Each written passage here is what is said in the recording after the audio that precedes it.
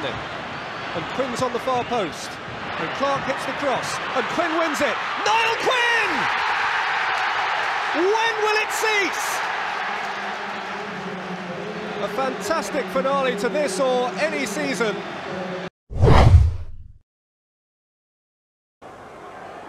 Clark.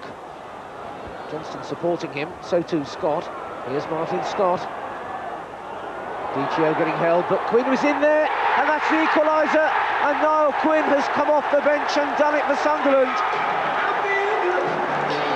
Eventually, the aerial bombardment just had to come off. Another excellent ball delivered in, and that was a fine header from Niall Quinn.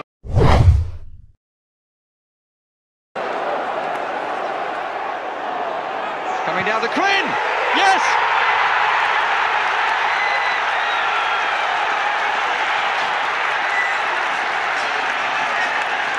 Four goals in 38 minutes. How about that for a reply for what happened on the opening day?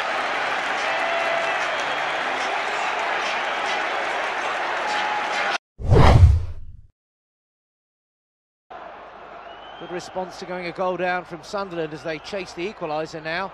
Quinn. Oh, a superb equaliser from Niall Quinn. That one went in like a shell. Point to prove on his return to the Dell. It was the first time he'd been back since being released as a teenager and told he'd never make the grade. But it was Niall Quinn with an exquisite lob who opened the scoring for.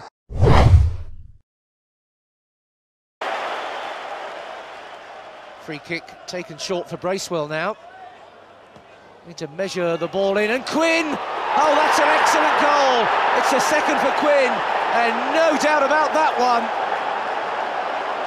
Exactly the sort of service that Niall Quinn would be looking for. Bracewell's delivery was spot on, and a fine header, and it's 3-1 now.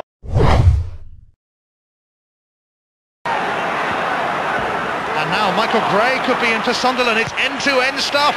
Gray's cross is a cracker for Quinn. He's done it. He has done it. Niall Quinn. Sunderland have turned it round. Michael Gray's burst and planted into the corner by who else but the big man. Campbell's nightmare to shoot the Wearsiders in front. That finish was impressive, but nothing compared to Quinn's second goal 10 minutes later. Big Niall showing he's more than just a target. Somebody looks up. Alexander, who's worked so hard, gets it away for ball to knock back Niall Quinn. Great goal by Niall Quinn.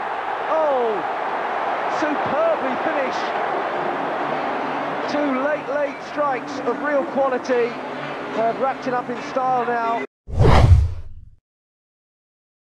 They're sitting deeper than they were. Gray in towards Quinn. Quinn going alone! That is a super goal!